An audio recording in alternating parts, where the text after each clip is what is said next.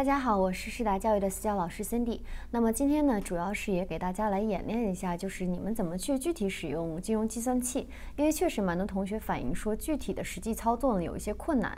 然后如果说用一个符号啊，我们用一个这个呃程序去给你表达的话，你也看不大明白。所以我们今天就专门来录一节针对于呃这金融计算器的这个实际操操作。好，那我们接下来就来介绍一下金融计算器的实际演练的操作。那么我也是呃为大家编写了一些简单的题目啊，只是供大家参考。呃，在这些题目里面呢，你们会看到各种数据，我们会把这个对应的数据用金融计算器来输入进去，你们就知道它具体的使用方法是怎样了。那么首先我们先来看第二页的 PPT 啊，那这一页呢，首先你们要学的是要怎么去改这个金融计算器的小数点。首先，我打开我的金融计算器，你们能看到现在是零点啊，然后四个零代表的是点后面的我们是四位的小数点。那我们怎么把四位小数点更改呢？我们来看一下啊。首先你点 2ND，然后呢，我们可以看到啊，2ND 是黄色的，代表我们启用所有上面为黄色的键子的啊第二。呃，第二个这个功能对不对？那我们看一下啊，最底下的这个逗啊，这个句号上面写的是 format，我们点 format，然后你就能看到 decimal 的简称啊是 DEC 等于四，所以我们现在是四位小数。那如果比如说我们想改成六位，怎么改呢？我们就直接摁六，然后 enter。那么现在呢，你就是六位小数了。我们点 2ND，然后 compute。就退出了，你们看啊，这个零就变多了，对不对？那当然了，为了这个计算的准确性，因为 CFA 呢，一般来说我们是比较推荐用四位小数的啊，六位太多了，在你的运算过程中有点过于复杂，所以我们现在恢复成四位，四 Enter，然后呢，Rnd，Compute 啊，我们回到四位了，这里是你怎么去设置这个小数。接下来呢，还有一个运算，就是说，在我们计算这个 present value、future value 的时候啊，我们要看你的这个 cash flow 是在年初收到还是年尾收到。那这个也是有很大的区别。如果说你在年初收到呢，那你要用 beginning mode；如果你在年尾收到，你要用 end mode。那我们打开计算器的时候呢，计算器默认的是我们的所有计算全部都在 end mode。那我现在教大家怎么去啊改变这个 end mode 改到这个 beginning mode，以及怎么改回来啊。首先我们先点 RND，仍然是启用这个计算器的所有键的第二功能。我们点看啊 PMT 上面有个 beginning，这个就是 beginning mode。我们点 PMT，大家看现在呈现的是我们的 end mode。那我们要再点 RND，然后 Enter。这个时候呢，你的计算器就变成了 beginning mode，也就是说，你的所有的 cash flow 都在年初的时候收到了，你就可以直接输入数字进行运算，去求 PV 啊，求 FV 都可以了。但是呢，我们一般来说，大部分的计算啊，都是说在年末收到，所以我们先换回这个 end mode。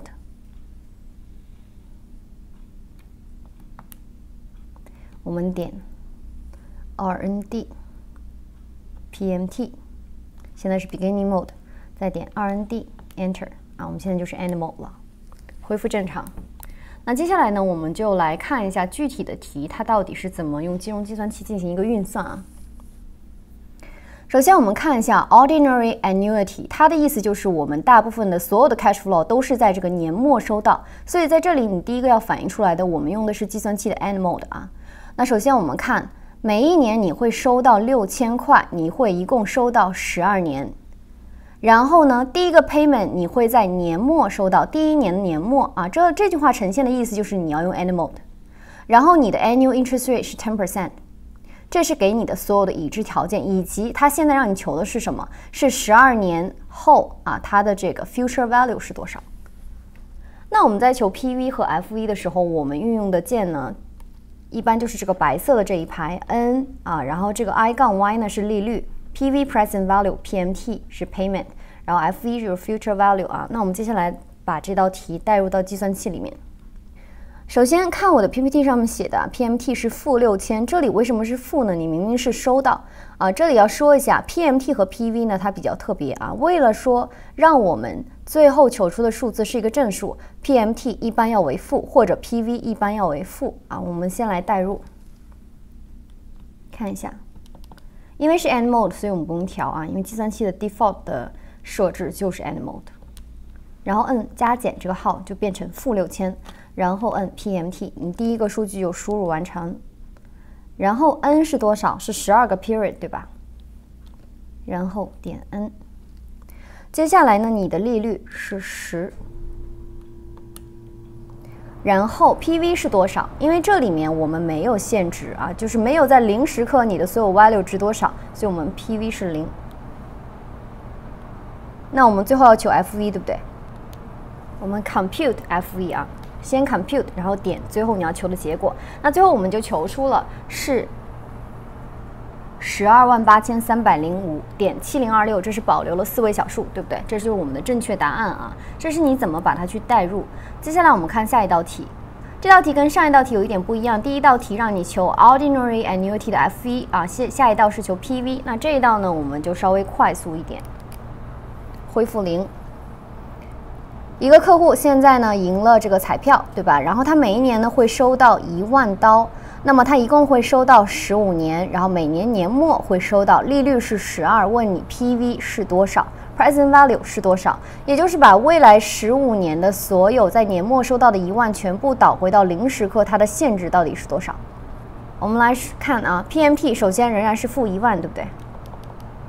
一万，然后按一个加减号变成负，然后我们点 PMT，然后接下来是。N 是多少？是十五，你就直接先输入十五，然后点 n，然后利率是十二，我们输入。接下来呢，future value 是零啊。然后我们接下来看怎么求 PV 呢？直接点 compute，然后点 PV。所以是六万八千一百零八点六四四九啊，这跟我们的数据是完全吻合的，没有任何问题。所以其实在这里你要注意的一个是数据怎么去输入啊，一个是注意这个 beginning mode、end mode，还有呢就是 PMT。一般来说，如果给你的话，要按负号来输，这样我们求出的 value 才能是正数。我们恢复到零，看下一道题。接下来看这道题就比较特殊一点点啊。首先它是 annuity due，annuity due 的所有题呢，它的 cash flow 在出现在 beginning of each year。也就是在每一年的最开始，那这一道题的意思，这一句话就是说你要把这个 end mode 现在改成 beginning mode。所以做这道题之前啊，先改计算器的这个 function。怎么去做？首先二 n d 点这个 PMT，因为它的第二功能是 beginning，对吧？然后二 n d enter。那我们现在就是在一个 beginning mode 里面。然后看一下这道题啊。说现在你投资了两千块，然后呢，并且在接下来的四年的年初，你都会投资两千块，利率是百分之十，compounded annually 啊，一个复利周期是一年。那现在问你在第五年年末你的价值啊，你的这些 asset value 价值是多少？首先，我们已经改成了 beginning mode，默认每个 cash flow 出现在年初。那我们正常输入数据就可以了。你一共啊多少个 payment 呢？一共是五个，对吧？每一个 payment 是两千。那我们现在就来输入 payment，然后呢，n 是五。这里说一下，你输入这些数据的顺序是无所谓的啊。给你这五个条件里的任意四个，你都应该可以求出最后一个。我先输 n 或者先输 PMT，或者是最先输这个利率是没有任何不同的啊，你最后得出数据都是一模一样的。然后接下来我们看利率，最后一个是 present value 啊，你现在没有任何的 present value。最后呢，我们今天要求的是这个 F 一对吧？Compute，然后点 F 一，你会求出一万三千四百三十一点二二零零，因为是四位啊，即使它是。啊，最后两位没有任何的数据，它也是以零来给你显示出来。那这里呢，我们的 F 一就求出来的，所以你最大要注意的就是看好它的题目要求你是用 beginning mode 算还是 end mode 算。下一道题呢，其实就是仍然是 beginning mode，只不过我们现在求的是 present value 啊。今年、今年、今天你先投资五百，然后接下来的每四年的年初你继续投入五百。利率是百分之八。问你现在 investor 有多少钱？也就是把未来所有年初你收到的 cash flow 全部导回到零时刻，你有多少钱？那我们来看 PMT，首先是五百，对不对？仍然是负五百。如果输入到计算器里面的话，然后接下来 N 是五，然后利率是八。我们看 future value 是零。我们要求的是 PV，compute，PV，你能求出两千一百五十六点零六三四，这个是你现值值多少钱？所有的投资啊，那这里也是没有任何的，呃，跟上一道题没有什么差别，只是说你四五个条件里给了你其他六四个条件啊，有一点点不一样而已，计算方式是一模一样的。那么接下来我们来看一下这道题比较特殊，首先我们先把一切恢复。恢复到这个 default function，也就是 end mode。这道题呢是让你用金融计算器的这个 cash flow 的 function 去算啊。那这里呢确实有很多同学去问我怎么去计算，因为它跟 PVFV 是完全不同的一种运算。我们来看一下，为什么不同呢？其实你看这道题的时候你就知道啊，它一共像是。你接下来的四年，每年年末分别会收到二百、四百、六百、八百，它的 cash flow 你发现不一样了，所以我们不能再用 PV 去算，因为 PV 里面的 payment 它是一致的，对吧？你每一年收到的数据是一样的，所以你只要简单的输一个 payment 就可以了。那么在你的 cash flow 是 unequal 的时候呢，你要用 cash flow 这个 function 去算，具体怎么运算，我们接下来看啊。你的利率呢，现在是百分之十，仍然是一个复利周期，是一年。问你。这四个四笔投资的现值是多少？我们现在来看怎么算。首先，你先点这个 function CF，在第二排的第二个 CF，然后这里会出现一串数字，对不对？这个是我上次运用 CF 运算出现的啊流的值。那我现在要把它先清除，才能重新进行新的运算。怎么清除？点 RND，然后看这里吗？最后一个 CE 杠 C。的黄色的这个第二 function 是 clear work，把你之前的全部清除，这样我们才能可以开始一个新的运算，不然它的 value 会乱掉啊。那我们看一下 CF 零是多少？是零，对不对？因为你是在第一年的年末才开始收到二百的，所以在第一年的年初，也就是零时刻的时候，你是没有任何 value 的，所以 CF 零等于零。我们直接 enter 下一个。现在让你输 CF 一，也就是你第一笔的 cash flow 是二百。这里的 cash flow 呢，如果是收到就是正的，如果是付出就是负的。然后点 Enter，看这里 C C 零一啊，就是 cash flow，第一个 cash flow 二百就输入完成，我们直接点下一个。这里有一个 F 零一，它代表是 frequency。那我们第一笔 cash flow 只收到了一次，所以它就是一次啊，默认的一次，你直接点下就可以了。然后接下来看 C 零二，也就是第二笔 cash flow 是四百，我们直接输入，然后点 Enter，然后我们再先点下，这个是第二笔 cash flow 的 frequency，仍然是一，不用动它，直接点下。这也就是为什么你们在看我的这个前导课的计算的讲解里面，为什么会出现两个下箭头连续出现啊？就是这个意思。你要把这个 frequency 跳掉。C 零三是六百，仍然跳掉。C 零四是八百，Enter。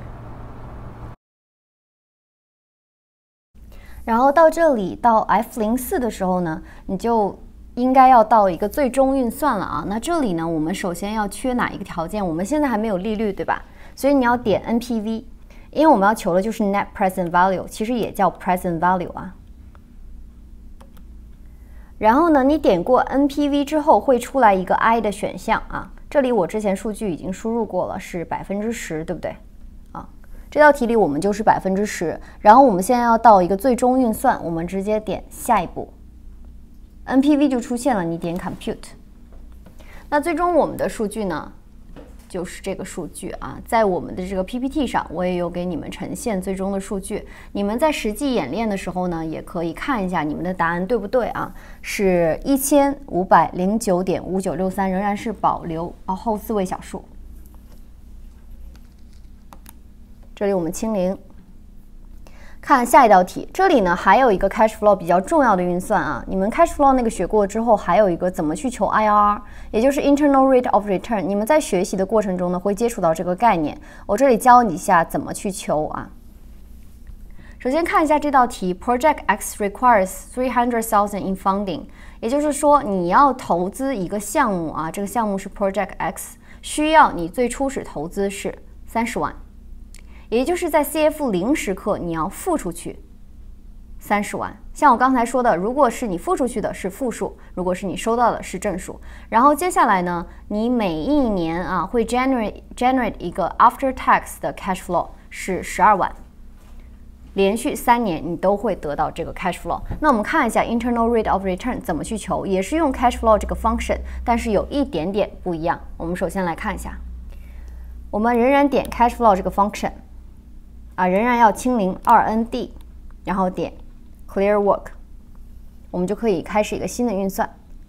那首先呢，CF 零是多少呢？这次就跟上一次不一样啊，不是零了，是负三十万。先打数字，然后点加减号，出现一个负，点 Enter。第一个数据输入完成，我们点下一个是 C 零一，C 零一是十二万。是正的啊，你就不用加任何的。我们点 Enter，然后仍然 Frequency 啊是一，直接跳掉。C 零二是十二万，因为你是连续三年都会收到十二万，对吧？Enter，第二个数据完成，Frequency 直接跳过。C 零三十二万，Enter，下一步。然后最后怎么去运算 IRR 呢？我们来看一下啊。其实，在我最后一页的 PPT 呢，也有给大家来呈现出来这个具体的过程，因为这个也怕大家说记不住啊。我们来看一下，直接点 IRR，然后 Compute，你就会出现一个九点七啊。那这里呢，九点七零一零，这里注意啊，它是已经加了百分比的。不要再拿它除一百再去当做一个百分比啊，它是已经是百分之九点七零一零了，你可以直接把它写成一个百分比。那这里呢，所有的关于金融计算器呢，大部分的运算都已经结束了，还有一些很零散的运算呢，建议大家去看一下前导课啊，前导课里面我也有具体给大家展现，这里就不一一的去展现了。那么今天的所有关于金融计算器的这个实际操作呢，我们就已经演练完了。那当然了，金融计算器的使用不只是啊，只有这一些基本操作，还有一些更复杂的。那么具体的，如果有某些同学，比如对 CFA 啊、CSC 有任何的需求，都可以来咨询我们的世达客服，我们世达的客服也会全力的去帮助你们的。